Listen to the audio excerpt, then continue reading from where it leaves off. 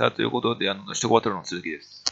前回まであの、アレックス・セブンのお姉さんに勝ちました。一回勝ったんだよ。それが、ハンデがね、あの、なんだっけ、ハイヒールを履いたままレースで勝ちました。次、本気でバトルしました。勝ちました。いや、自分からコースでバトルですね。しぶといね。ドリキンで話してくれ。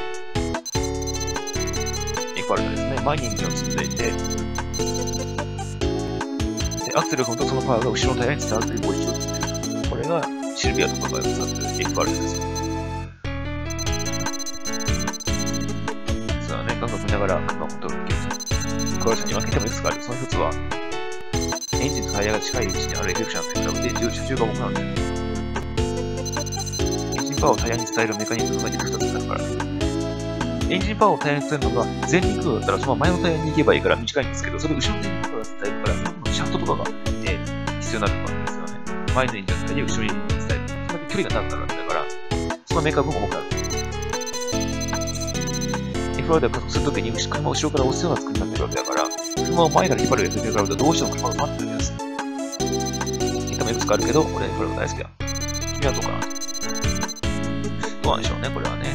人によるわね。あとあの、タイヤが片振りしないといいですよね。前輪駆動だったら前のタイヤばっかり引っちゃうから。うん。さあ、方とかになった時にしてるパーツ。つけてるね、もうね、その他のパーツは。でね、トランスミッションがちょっと頭打ちしちゃうんで、ちょっとね、配置。ノーマルでもいいです。これがいい。最初に対してプレイテーションタイプ。エンジンなんかお前なんか、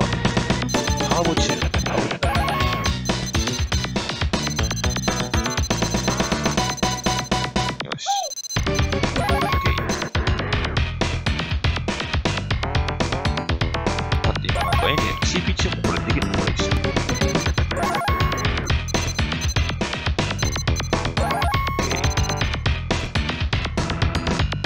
カニシウムってもしかしてターボをつける、エンターボをつけないで一緒なんじゃなくて、エンジン内部の一緒まあいいや。ここでね、自分からのセッティングがあるんだから、自分からのあのパーツをつけるっていうところに気がちなんだけど、私はそれをしないっていう。おまあ、まあいいや。ちょっと走り込みは一回ちょっとスキップします。はい、というレースです。はい、コース覚えましたよ、ちゃんと。あとのルールはその時による3本しよ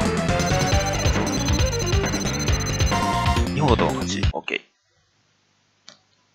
これ見せる必要ないですね、これね。逆にね。見る必要ない。見せるっていうかね。あ、まあ、一応見てみるか、これ。こうやって。どう差がね。おまあ、二人の走りを触ってくださいよ。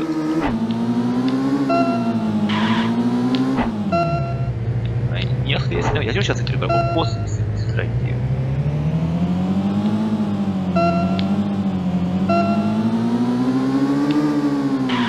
もうそういのまでもないですよ。これ矢印だからさ。よし。OK。2本目行きましょうか。いいですよね、か2本目はさすがに。はい、続きで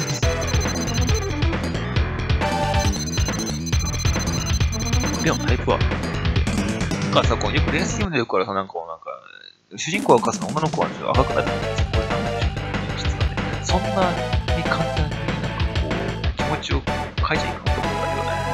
まあいいや。今日ここまでにしましょうか。じゃあ、また次回続きやります。